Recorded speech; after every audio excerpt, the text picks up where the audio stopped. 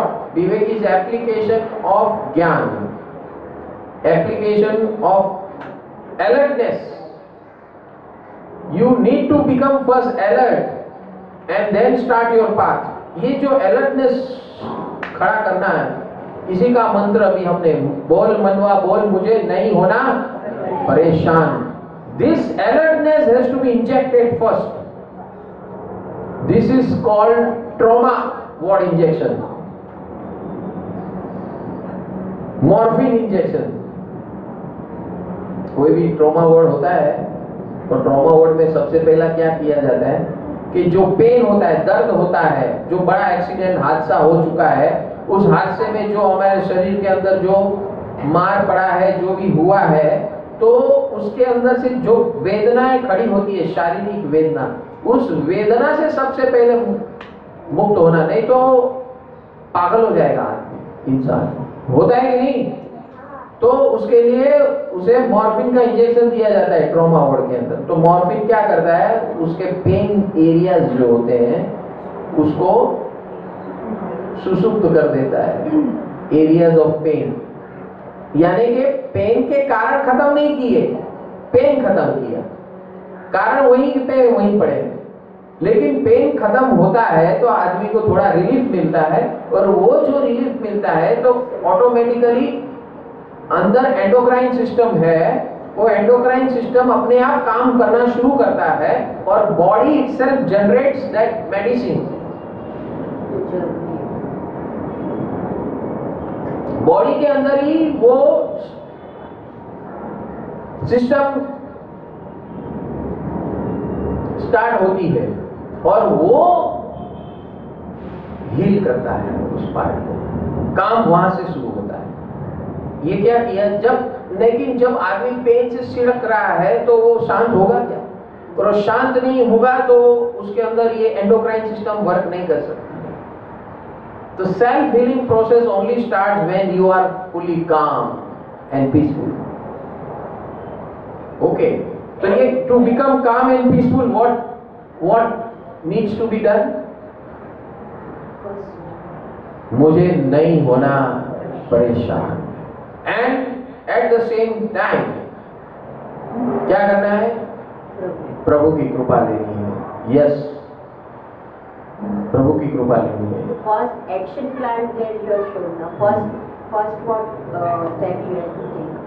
first action plan यही है। मुझे नहीं होना परेशान।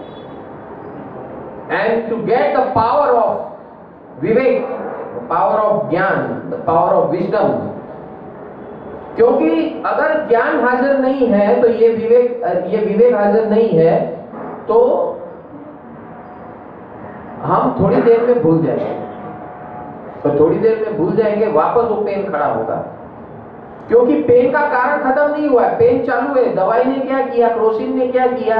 हेडेक सॉल्व नहीं किया है। Crocin it does not solve headache it removes ache from head it doesn't remove sorry it doesn't remove ache it it makes you. नहीं नहीं it it it it kills your pain. It doesn't kill the problem. It kills your pain प्रेम में जो होता है भावना होती है वो जाती है। होती तो तो सेंसेशंस खत्म होते हैं उससे इसीलिए पेन खत्म होती है। सेंसेशनरी जो सिस्टम होती है उसको डीएक्टिवेट कर देता है ये गोलियाँ। एलोपैथिक गोलियाँ क्या करता है? बड़ा एक्सीडेंट हो गया जो कुछ भी हो गया हेडेक आया ये आया वो हुआ। तो क्या करता है? जिस जो सिग्नल देने वाला आदमी है ना खबरी खबरी आपके शरीर के अंदर जो खबरी होते हैं, जो आपको पेन रियलाइज़ कराते हैं, क्यों रियलाइज़ कराते हैं कि भाई गड़बड़ है, इधर आओ और इसको सही करो। वो उसी को आप चुप करा देते हैं गोली से। समझ में आया कि नहीं आया? और इसीलिए फिर रोग आगे जाके कॉम्प्लिकेशन बढ़ा देता है। We are not body is giving you signals but what we are doing, we remove, we close down or we suppress those signals. by taking such pills and not solving the problem itself and then the problem gets aggravated and then it becomes a tumor and then it becomes a cancer and then it becomes a heart stroke l- this कौन सा stroke paralysis stroke this that ये सब कहाँ से आता है because whatever signals we were getting we we have taken such pills which kills the signal which suppresses the signal system. खबरी कोई बंद करवा देते। खबर देने वाली जो चीज़ है पेन क्या है, वो खबर दे रही है। Pain itself is nothing pain हमें खबर दे रही है कि भाई, ये बहुत गड़बड़ है, इसको सुधारो।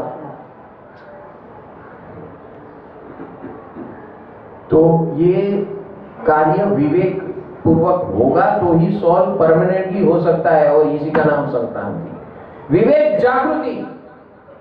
सबसे पहले अलर्टनेस फिर विवेक जागृति और फिर उसके ऊपर एक्शन लेना